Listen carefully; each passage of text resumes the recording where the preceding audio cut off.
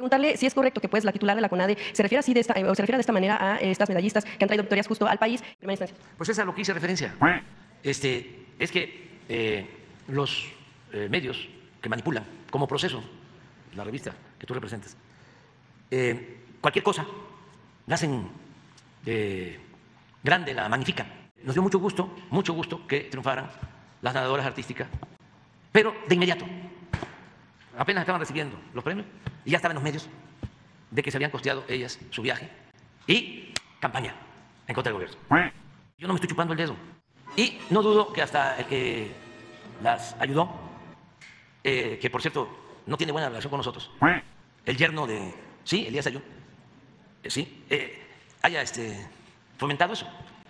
Desde luego, no hay que caer en ninguna provocación, aunque se tenga el corazón caliente, la cabeza fría, porque lo que quieren nuestros adversarios y su prensa corrupta, sus periodistas vendidos o alquilados, es que nosotros contestemos mal, que es el caso de la directora del deporte, Anita Guevara, este, que pues les hace el caldo gordo.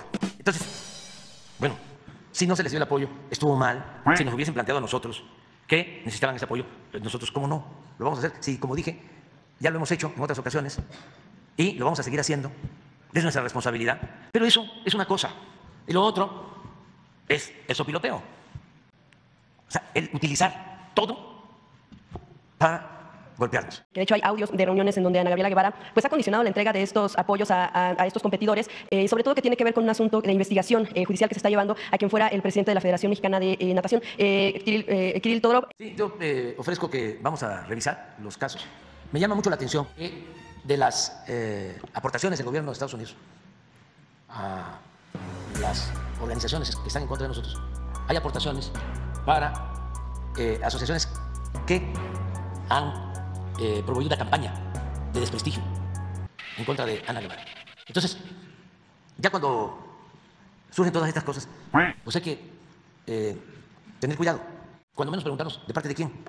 Entonces, déjanos ver cómo está la situación eh, y vamos a dar una respuesta con justicia. Quienes han- se han acercado pues, a dar los testimonios son Sí. los propios deportistas, que en Sí, muchos casos pues, son sí, jóvenes que no, no saben de repente dónde acudir. Claro, y nosotros padecemos todos los días de calumnias y son a partir de opiniones de especialistas y de expertos.